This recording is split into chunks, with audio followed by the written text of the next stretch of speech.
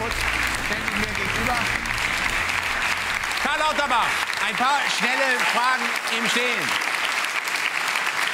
Jeder wacht Herr Lauterbach. Als, Sie gehen auf Abstand in Absprache mit dem Robert-Koch-Institut, denn ich bin eine Virenschleuder. Ich bin noch anstecken, da kann ich nichts riskieren. Ja. Wann waren Sie zuletzt so richtig amtlich besoffen mit Filmriss und allem? Auf jeden Fall bin ich jetzt nicht besoffen genug, um das zu verraten, aber also, äh, es ist nicht allzu lange her. Das ist aber Film, Filmrisse, also erinnert man sich natürlich nicht. Durch dieses Rheinländische klingt es immer gleich so breit. Aber, aber ist gar nicht. Nee. Wie schaut es eigentlich bei euch im Prenzlauer Berg mit Parkplätzen aus? wird jetzt besser, weil jetzt also wird ja abkassiert und daher gibt es jetzt also das Ordnungsamt hat die Kloppereien, wir haben die Parkplätze. Kommen Sie ein bisschen näher ran, so doll sprühe ich gar nicht mehr. Werden Sie Patenonkel von Andrea Nahles Tochter Ella Marie? Ich glaube, der Job ist schon vergeben, aber... An wen? Christian Lindner? Da, nein, nein, um Gottes Willen. Also, aber äh, auf jeden Fall zwei, Sigi. zwei Sigi macht's, nein, nein, oder? auf keinen Fall. Ich steht, steht nicht zur Verfügung, aber 2810 Gramm und wird großartig. Das ist ein widerlicher Applaus. Das finde ich immer so.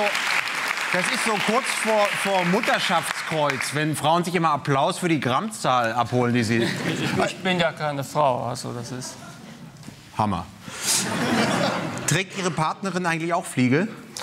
Also noch nicht und äh, ich, die, die Fliege gefällt ihr nicht. Subtilster Bestechungsversuch eines Pharmalobbyisten, an den Sie sich erinnern? Um ehrlich zu sein, ich kriege regelmäßig Fliegen geschenkt, das ist allerdings nicht allzu klug. Bayer. Nein, nee, um Gottes Willen. Also diese Ware, also, man sieht ja, dass das eine ganz andere, bessere Ware ist. Ne? Welche Rockband haben Sie zuletzt live gesehen? Live gesehen, gute Frage. Eine Sekunde. SP Moment, Moment, ja. Moment, Moment, Moment. Also die live. Jetzt ist schwer für ihn. Er muss jetzt sowas sagen, was gut ankommt, aber auch ein bisschen stimmt. Ja, ja. Also machen wir mal weiter. Machen wir mal weiter. SPD-Parteivorsitzender Lauterbach. Das ist also, äh, der Job ist super besetzt und wird auf absehbarste Zeit überhaupt nicht mehr verkannt. Na, da gibt es ja auch wenig Fluktuation. Das hoffen wir wenigstens. Telefonieren Sie eigentlich auch beim Fahrradfahren? Ich fahre selten Fahrrad äh, und von daher erinnere ich mich nicht. Ist es eigentlich amtlich, dass Handytelefonieren keinen Krebs macht? Amtlich nicht, aber es ist so. Gibt es eine Stadt in Deutschland, wo die Menschen so sprechen wie Sie?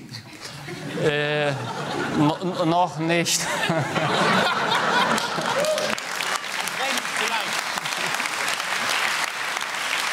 Herr Lauterbach, Sie als Mediziner. Warnen Sie, wie alle Mediziner, auch so nachdrücklich vor Vic Medi-Night? Soll eine Bombe sein. Wegmedienheit also, äh, bringt nichts aus meiner Sicht. Also die Studienlage ist so, dass es also im Prinzip, also ich will hier keine Abwerbung machen, aber ich, ich wüsste, wie ich das Geld besser einsetze für ein, also für ein schönes Gläschen Schnaps oder ein Rotwein oder so. Dr. Karl Lauterbach, äh, war Ihr Schönheitsideal wie bei allen Medizinstudenten in den 80ern auch Sascha Hehn? Nein, um Gottes Willen. Also Sascha Hehn, da sage ich ja mal nichts zu, sonst kriege ich Abmahnungen. Für was genau bewundern Sie den amerikanischen Soziologen John Rawls? Also John Rawls, äh, jetzt ohne Scherz, war jemand, den ich also geschätzt habe, weil er war der Letzte, der eine durchgehende, sagen wir mal, philosophisch begründete, kluge Gesamtsicht von Linkssein gebracht hat, ohne dass er in den Kommunismus abgerutscht ist oder bla bla war. Was sagt man beim Friseur, damit man das kriegt, was Sie da auf dem Kopf tragen? Der Friseur sagt erst einmal von vornherein, Sie haben ein Problemhaar. Ich sage, dafür brauche ich nicht Sie, das weiß ich mittlerweile. Und dann also identifiziert er drei bis vier Wirbel und kriegt nachher doch keinen Schnitt zustande. Ne? Wissen Sie zu viel? Niemand weiß zu viel. Ihre Grußbotschaft an Ihren Namensvetter Heiner. Also er steht der falschen Partei nahe und also seine. denn? Er steht der Union. ZDF? Nee, ja, Na, was? ZDF, ja, Z, Z, ZDF und Union sind auch nah, das ist auch richtig. Aber nein, also äh, die, ja, sicher. Muss ich jetzt empört das zurückhalten? gut, der, der Koch ist doch jetzt, äh, der macht doch jetzt in Baumaschinen. Das ist doch alles schon wieder viel besser. Stimmt, das ist, Ihre, äh, äh, wenn Sie ein Vöglein wären, dann welches? äh, ein Rabe. Wollen wir uns setzen?